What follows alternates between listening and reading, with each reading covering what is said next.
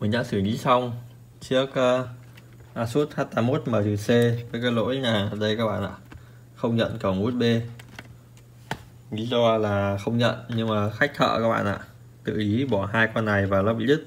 Uh, cái phần uh, video nó bị đứt nha các bạn nhé thì uh, mình uh, sửa chiếc uh, đâu rồi nhỉ? Mình vừa sửa một chiếc uh, Gigabyte H81 thì mình sẽ để lồng nó vào trong đấy các bạn nhé. Đây. Mình ờ, sẽ để phần ờ, phần thẻ thẻ đề xuất đi. Mình sẽ để ở phần thẻ đề xuất nhé. Chiếc là chiếc này. À, mình vừa sửa chiếc này xong và mình có phần cuối ấy, mình có quay cho mọi người xem. Cái đoạn này bị mà mình đã xử lý mình đã câu lại ok các bạn này. Và bây giờ nó đã nhận mạng.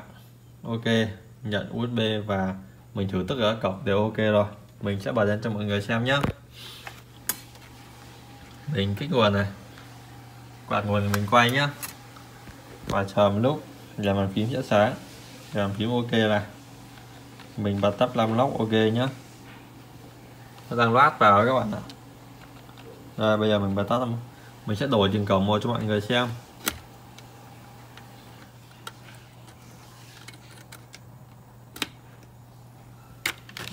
Bây giờ, chỗ mình bắt đầu qua mùa xuân rồi lắm mũi kinh khủng.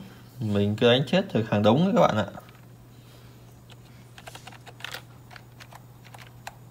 Ô, tự nhiên lại không được này các bạn này.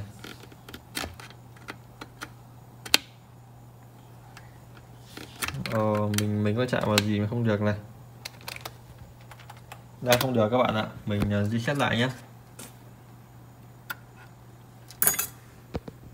di xét lại xem có lên không vừa nãy mình nhớ đã nhận ok rồi mà. À, mình sẽ cho vào à, vào BIOS đi để mình kiểm tra. Vào F7 nhé rồi mình sẽ bật tắt ok. Mình sẽ đảo nhá. À, chuyển từ cổng này xuống cổng dưới. Vẫn sáng ok các bạn nhé ở ngoài màn hình chờ BIOS chắc là nó lỗi như thế đấy. Mình đảo đảo tiếp này nó có bốn cổng tận bốn cổng bên trên nhỉ? Vẫn là ok các bạn nhé. Và mình đảo tiếp. Xuống cổng dưới. Cũng vẫn ok nhé như vậy là mình đã cứu được bốn cổng USB cho em nó à, ờ, và bây giờ mình sẽ vào uh, mili mili. Để test xem là âm thanh và mạng có ok không. Lỗi thì ờ, đơn giản là khách làm đứt đường mạch USB các bạn ạ. Nhưng mà mình phải kiểm tra cả mạng nữa. Cũng chưa biết đấy là mạng hay là dây USB mà. À, và rồi à, mình phải xem nó có ổn định không nữa. Cộng với ờ, nó không cho vào các bạn này. Nó đang báo lỗi Cebu fan. Có một cách để các bạn vượt qua cái lỗi Cebu fan đấy tức là các bạn vào trong mục setup nhé các bạn vào mục monitor và Cebu fan các bạn chọn mục iGron này. Là ok. Mình xem nó có nhận USB 3.0 không nhé nó loát vào Win là nhận đấy. Ok như vậy là nhận tốt Win 3.0 mạch mình nối không có vấn đề gì. Cái mạch này nối thì không khó đâu các bạn ạ. À, nhìn thì không khó. Có nghĩa là phương pháp ừ, nối không khó nhưng quan trọng là phải tỉ mỉ thì mới nối được. Nó cần một chút nó khéo tay các bạn ạ. Thì các bạn cứ bật kính úp lên và nối thôi à, mình hơi khó lên led.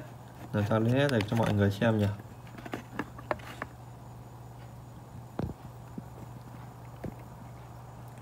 Mình cố gắng lên led nhưng không được các bạn ạ. Chắc chỉ được tầm này thôi. Đại khái nó bị đứt ờ, bốn đường nhá. Thì mình nối bốn đường lại với nhau. Hai đường uh, hai đường nối riêng và hai đường nối riêng. Và mình đã nối xong ok các bạn này. À, còn ờ, âm thanh nhé mình cắm âm thanh mà cái màu đỏ kêu nó chuyển sang cơ hình biểu tượng cái loa có tiếng là ok. Ok các bạn ạ. Đảo qua một chút nhé à, ờ, mình chút âm thanh rồi. Mình chưa cắm chuột. Đây đây chuột của mình đây. Cắm luôn test xem là có nhận chuột ok không nhận chuột anh các bạn này. Ok nhá. À, mình sẽ test ờ, mình sẽ up ngày giờ.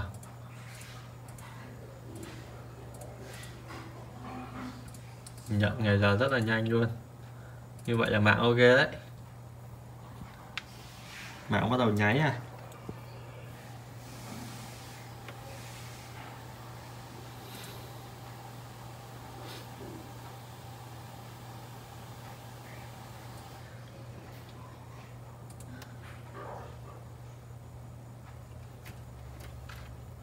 Mạng ok âm thanh ok.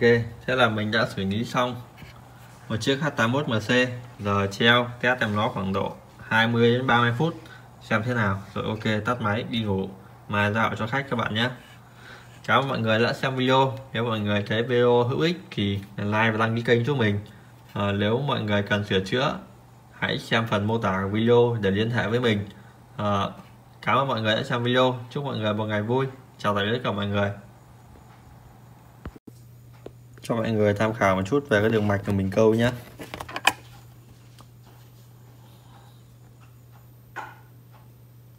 Ờ, nó khá mạnh và yêu cầu là không được dính vào nhau các bạn ạ. Dính vào nhau là hỏng nhé các bạn nhé.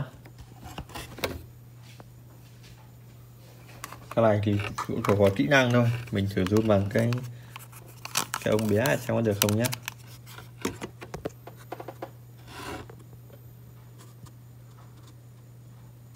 Có được không nhỉ mọi người nhìn được không ta?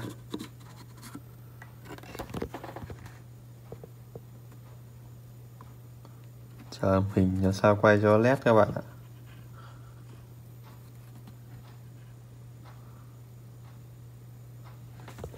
Không không mà sao led được, cái góc này khó quay quá. Đây rồi các bạn ạ. Khó ghê. Làm sao cho led nhỉ? Làm sao cho ghét ta? Đó mọi người thấy không? À, khi mà câu ấy thì mình câu đúng cái đường đó được thôi. Vì à, anh ấy dùng kìm anh ấy bẻ nên là nó bị bung những cái chân ấy ra các bạn ạ. À, qua cái nút này thì các mọi người nhìn nó to như thế nhưng thực ra là nó nó rất bé.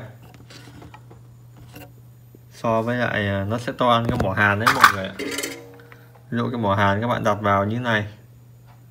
Thì phải lựa khéo. Làm sao cho mạch nó vừa ăn được là ok. Bây giờ thì mình sẽ phải ờ, dùng một cái keo UV mình sẽ phủ lên nó một cái lớp. Sau đó mình sẽ sấy là nó sẽ khô lại và nó không bị bong ra nhé các bạn nhé cũng tránh nó đứt lại nữa.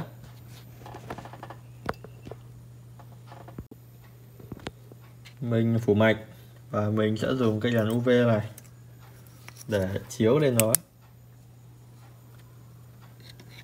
Một lát nó sẽ khô và mình sẽ có thành quả các bạn nhé.